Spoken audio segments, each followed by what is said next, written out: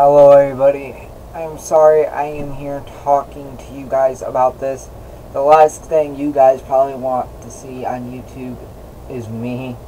Unless I am shredding it in Fortnite. Uh, I'm so sorry. I hope you guys are having a wonderful night. And I will be moving to Twitch unfortunately with how Mixer is going. So I hope I see you guys another day.